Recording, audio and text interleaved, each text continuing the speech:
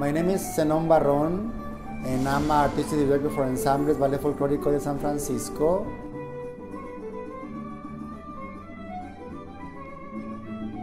My big dream was to make a big performance for the 25th anniversary.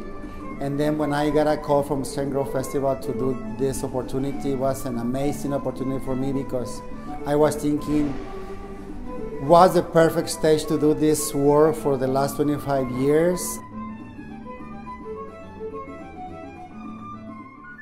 In 1998, we went to the uh, Festival as a and this opportunity again is a great opportunity to do our work and do the best.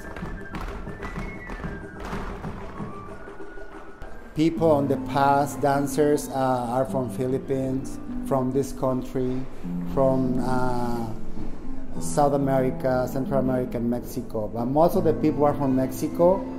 But it's interesting because most of the uh, dancers born in this country so I'm so proud uh, they can have this opportunity to express in our community our culture and the parents can see what they do now with our culture.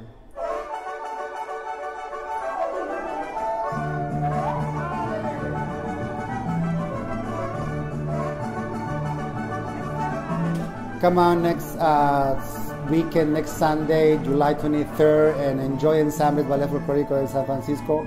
We are so excited to present you July 23rd.